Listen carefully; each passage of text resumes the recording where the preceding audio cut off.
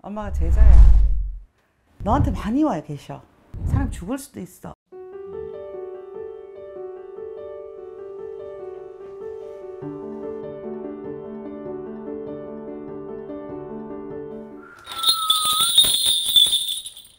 몸도 아프고 응.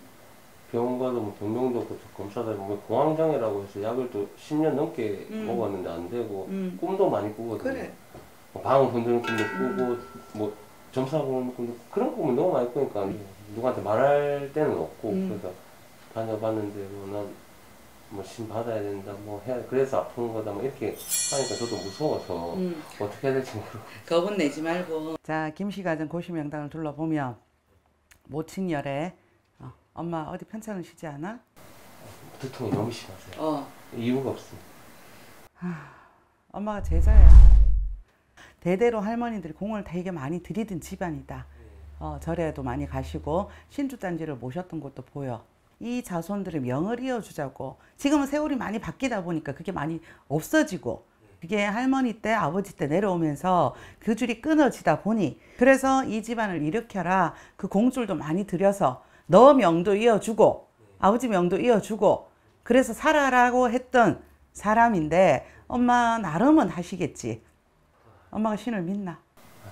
그치? 엄마 고집이, 엄마 꿈이, 엄마 예감이, 엄마 직감이 워낙 빠르신 분이라서 잘못하는 거는 아버지가 모든 게 잘못된 거고 네가 잘못된 거지 엄마가 잘못된 건 없다고 생각하신다. 네, 맞습니다. 그래서 김씨 집에 조상님도 화가 나시고 신명에서도 화가 난다. 니한테도 벌써 열일곱, 열여덟 때부터 이 신바람, 조상바람 마음이 안 잡힌다. 맞습니다. 어, 다 맞습니다. 하고 싶은 게 없다. 예. 왜 살아야 되는지도 어떤데 모르겠다. 남들이 보면 사지 욕심 멀쩡하고, 어. 근데 뭐가 답답해. 항상 여기에 뭐 큰 바위가 네 앞을 막는 것 같고, 예. 그러고 내 금전을 벌어도 돈이 안 모인다. 그건 복이거든. 명과 복이 예. 조금 공존해야 사는 것도 좀 평범하고 재밌지. 근데 명이 없으니 네가 아무리 노력을 해도 돈을 요만큼 모아놓으면 이만큼 나갈 일이 생기고 인간의 상충, 자꾸 충돌이 생기고 별거 아닌 거에 오해가 생기고 그럼 직업에 자꾸 바람이 드는 거야. 환란이 생기고 예. 니도 어떻게 살아야 될지 모르겠다. 전 너무 힘들었어요. 어, 너의 사주에는 부모가 엄마가 안 빌어주면 네가 빌고 살아야 되는 사주야. 그만큼 공덕을 많이 들여야 남들하고 평범하게 살 수 있은 그 선에 가. 사람이 돈이 있어서 행복한 건 아니잖아. 예. 작은 거에도 행복해야 되고 즐거워야 되고 모든 게 다 막혀버린 거야. 네 사, 생활들이.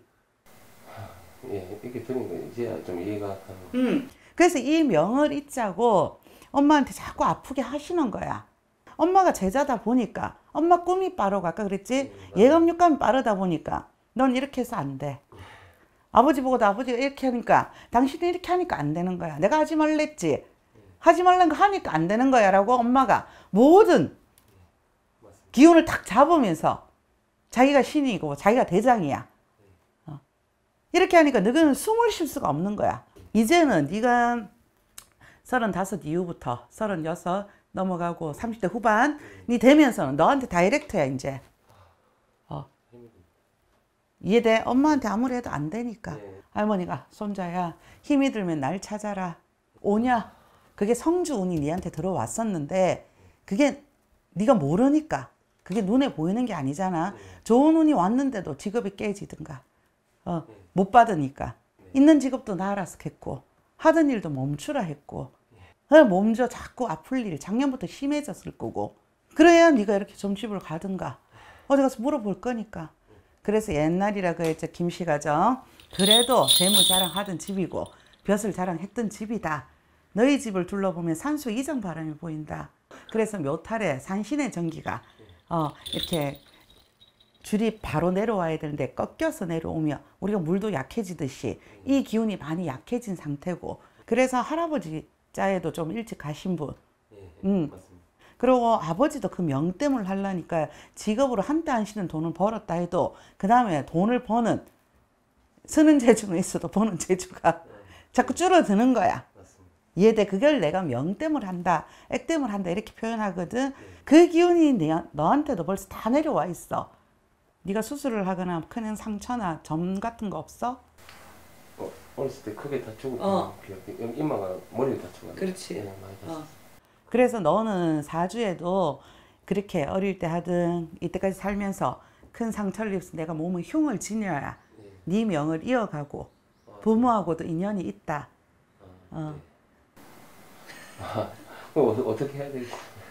너희 집은 이 조상 바람을 좀 잠을 재워야 되고 이 줄을 알아주려면 김씨가정 니를 지켜주는 할머니가 계셔. 이 할머니한테 길 열어달라고 조금은 빌어야 네가 조금 안정이 돼. 아픈 것도 좀 나가고 네가 풀어야 될 숙제야. 네가 그게 조상이든 신명이든 이걸 잘 알고 받들고 살아야. 그런다고 다 무당하는 건 아니야. 그래서 네 직업으로 가고 네가 하고 싶은 거 할 수 있게끔. 남들은 그런 걸 몰라도 살아가면서 평범하지만 니는 요런 부분이 있어야 남들하고 바깥으로는 평범하게 보이는 거야.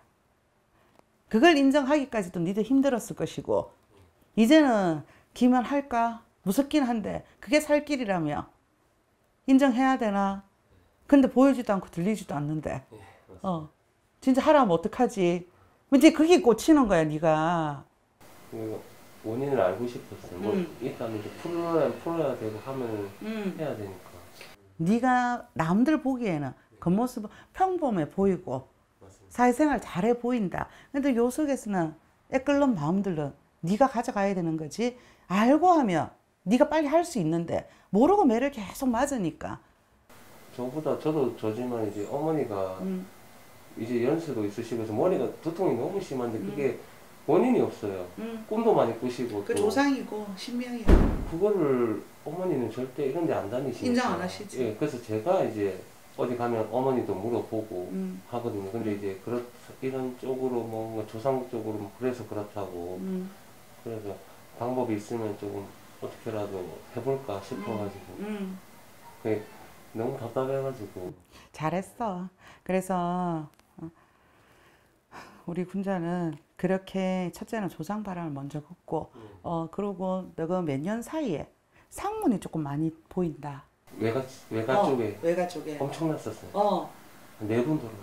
그래서 상문 주당이 엄마한테 지금 엄청 많이 들어와 있고 이 영향이 니한테까지 지금 내려가 있어.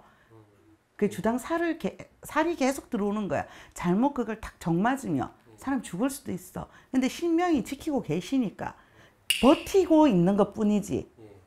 예. 내가 산다고는 볼 수가 없는 거야. 네가 하고 살아. 어, 그렇게 된다면 음. 정말 빨리 어떻게 조금이라도 좀 해서 그래. 시간이 조금 걸리죠. 당장은 지금 좀 힘들고. 네가 신을 받아 무당을 하는 건 절대 아니야. 예, 알겠습니다. 어. 그게 보이지 않잖아. 네. 뭐 의학적 설명도 안 되고. 그래서 네 꿈에 그렇게라도 뭐 방울도 주고 전 보는 거 주고 막 이렇게 심각하게 줘야 니도 뭔가 아차 싶은 생각이 들 거니까. 그렇게 안 하고 그냥 꾸미면 아유 그런가 보다. 니도 이렇게 살 거니까 그렇게 할 수밖에 없는 거야. 보통 친구들랑 조금 다르다는 얘기야. 네, 그렇습니다. 심오하지. 네. 지금 사례자 같은 경우는 이제 본인도 몸이 많이 아프고 뭐 이제 정신과적인 약도 먹게 되고 어머니도 머리가 너무 두통이 심해서 어떤 일을 할 수 없는 지경까지 온 상태에 이유를 알고 싶어서 온 건데요. 자, 첫째는 이 집안의 상문 몇 년 전부터 상문이 많이 일어나면서 상문 주당이 들게 되고 빌었던 이 칠성 공덕이 끊, 끊어지면서 이제 명땜을 수없이 하는 겁니다. 조상들이 좀 명이 없어요. 단명도를 일찍 가신 조상들 때문에 이런 조상 발언과 동티, 상문 주당을 좀 잘 풀고 나면 이제 몸이 아프거나 이런 거는 많이 없어질 거고 많이 좋아질 거예요. 어디 가면 사례자 보고 뭐 신을 받아야 된다 소리도 많이 들었다 하는데 신을 받아서 불릴 그런 제자들은 아니고 그 길문만 잘 열어주면 평범하게 살 수 있는 그런 사례자입니다.